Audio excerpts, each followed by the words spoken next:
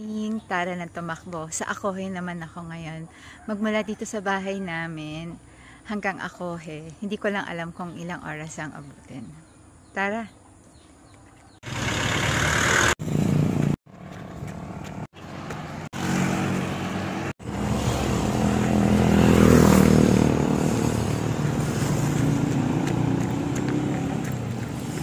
Dito na ako sa bayan ng Candelaria.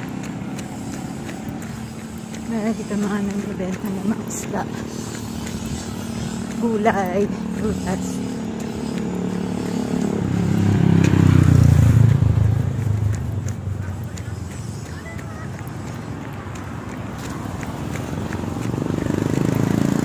Good morning. Good morning po.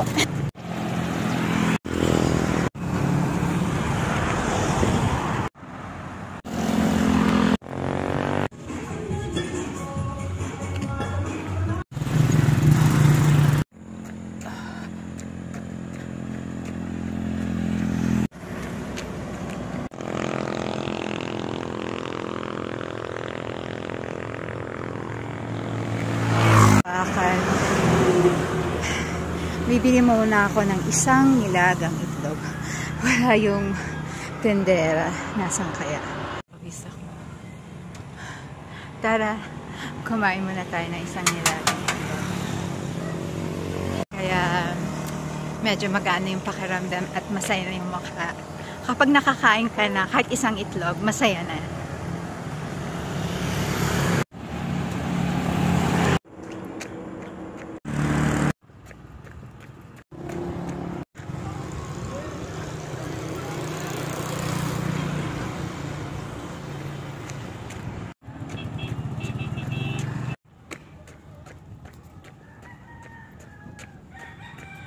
Tulay ng Wakon. Malapit na ako sa South Locapan.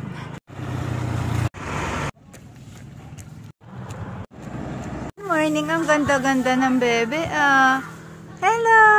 Napadaan ako dito sa bahay niyo.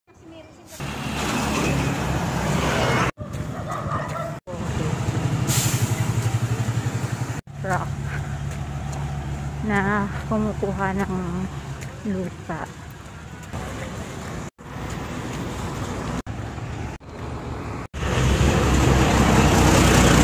Nginig rin dito yung lupa. Habang may ginagawa si kuya.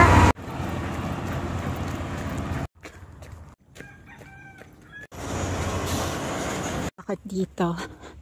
Pero kailan lakas ang loob ko.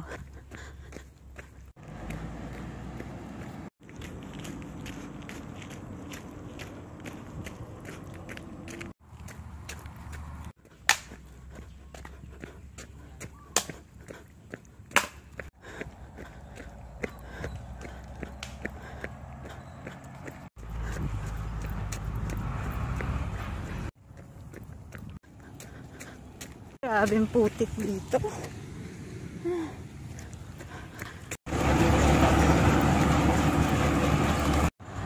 Truck. Meron din palang bahay. Hindi ko kailangan matakot.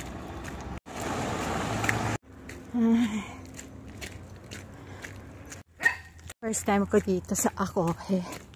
Kaya nang may nakita kong bahay, nagtanong ako kung nakakatakot ba dito. Sabi hindi naman.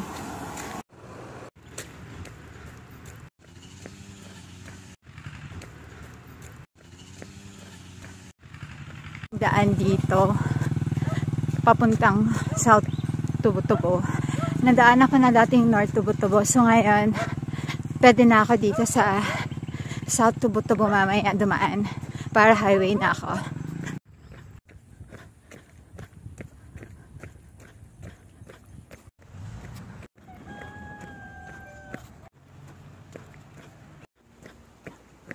Tidak akong tumakbo dito dahil nga first time.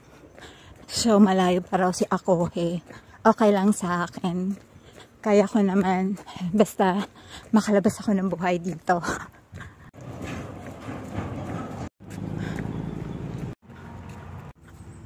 Dahan dito. Bibili muna ako ng soft drink. Dahil tanglata na ako. And, na. O dyan eh. Kaso, dito na lang para makapunta na ako ng South Lucapon.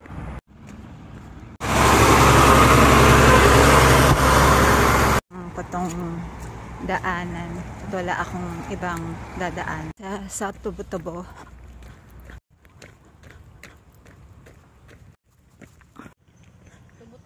Opo, okay lang po, Nay. Nadaanan ko na to dati eh. Sige, may tindahan naman po dito. Salamat po. Kapag gustong humawak sa tubig, dahil mal naiinitan na ako. So ngayon, nakahawak na ako. Lawak ng bukid dito. Minom ng malamig na soft drink. So, wala pa akong natatanaw na tindahan. Sana meron ng malapit dito. Ito pa namang malobat ang cellphone ko. Bumili muna ako ng Vitamilk dito. Buti na lang merong nagbebenta. Ano pangalan mo? Banji po, Kalios. Ah, salamat po na yan.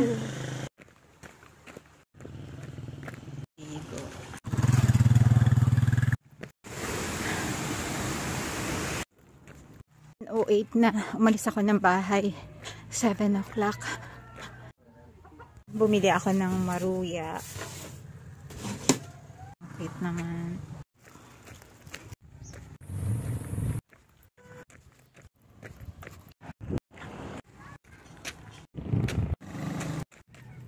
South Tubo-Tubo sa BI highway. May pag-asa na malapit na dito yung bahay ng auntie ko. Makikiinom ako ng malamig. Hello po. Ante.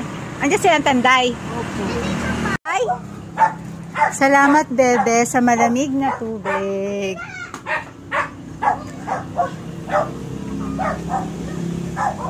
Hello tanday Oyeng. oh tapos Kayo siguro ka na to. Tanaway ko ta ko ni Eman. O, isunod. Ipantan pa. makano kamurong hayamot Sabado. anya ko tagaw ni ta imbi mong papel Mangon tambal. Ah, tambal. A- Ano ba ni na lunes? Ya. Pastang ko no makit kuya. Na. Pasirok siya sa back to back. Aha. May bisita. Bisa. Aha. Pangalan ko. Pastang ko no, pwede ko na makwa. Yan o natanggap ng nata. Habagay imbi na yun ang Bernin. Cellphone ta pa na haway na numain na nata. Ah, dito sa bahay ng auntie ko. Nakainom na ako ng tubig. Medyo nakapagpahinga na ako ng konti. Makikicharge muna ng cellphone.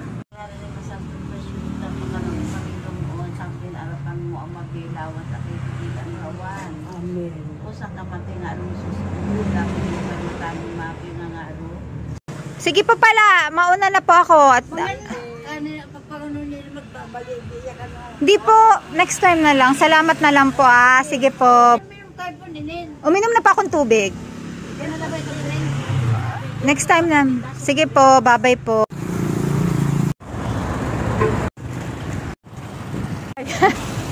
Nakaka-stress tumakbo sa highway compare mo kapag nasa bundok ka dahil nga malamig doon. Dito sa highway sobrang init.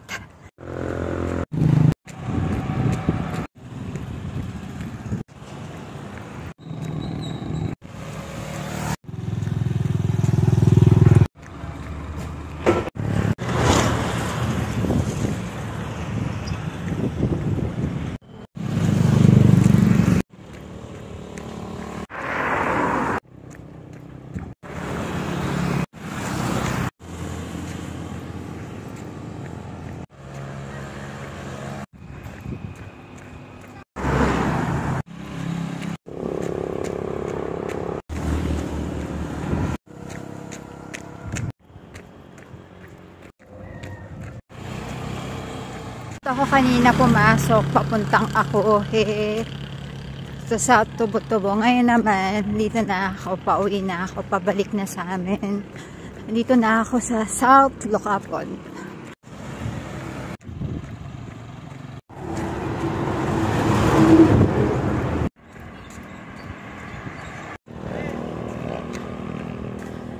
Hindi ka pa mag-out? Bahay ng classmate ko. Magpahinga saglit. Iinom ng malamig na tubig. Hindi ba na ako kilala? Lagi ako nagpupunta dito sa inyo. Eh? Ana? Gwen po. Gwen. Gwen, apelido mo? Alina Agilian po. Ah, okay. Mabait ito si Gwen.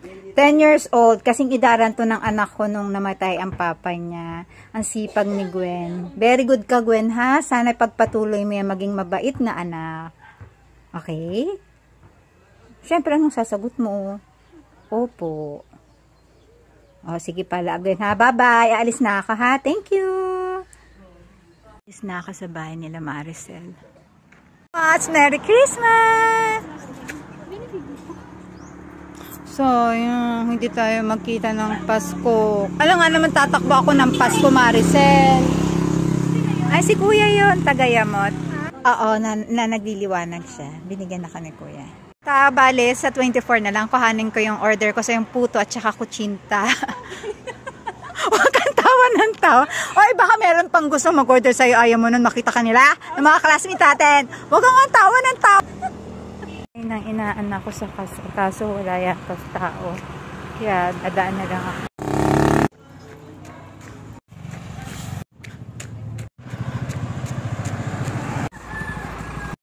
Ito na ako sa Wakon.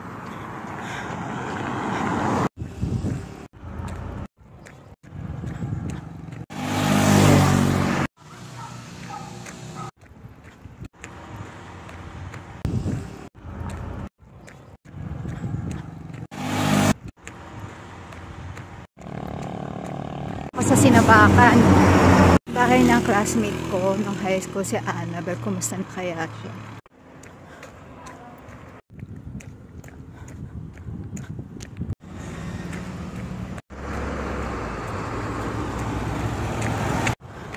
Dito na ako ulit sa Sinabakan. Bibili ako ulit ng nilagang itlog. Naka 8 hours na ako sa pagtatakbo. Grabe.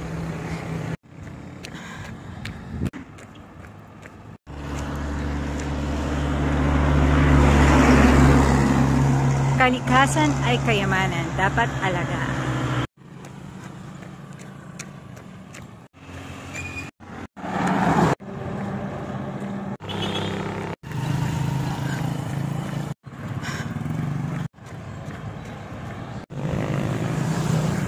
Palabas ng San Roque, papunta na ako ng bayan, ng Candelaria. Nandito na ako sa Pamilyan. Na naman ako mag soft drink dahil talagang kulang na ako sa ano, sugar. Dito sa tagipapa ng bahay.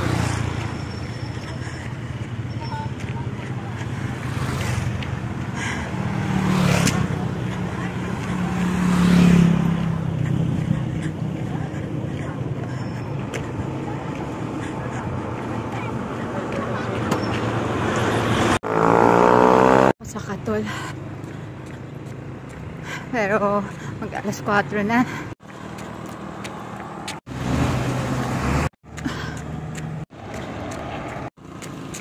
Dito na ako sa Yamot.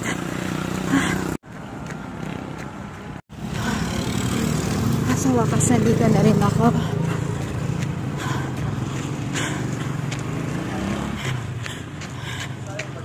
Thank you Lord.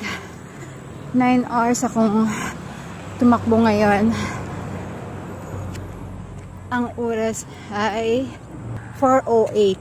Thank you Lord sa pagsubaybay sa akin sa walang sawang pagbibigay ng kalakasan ng katawan at magandang kalusugan. Maraming salamat po sa pagsama niyo sa akin ngayong araw na ito. Alam ko pong sobrang layo pero ang pinaka masaya sa lahat ay yung nakauwi ka ng maayos at masaya ka sa ginagawa mo. Salamat po.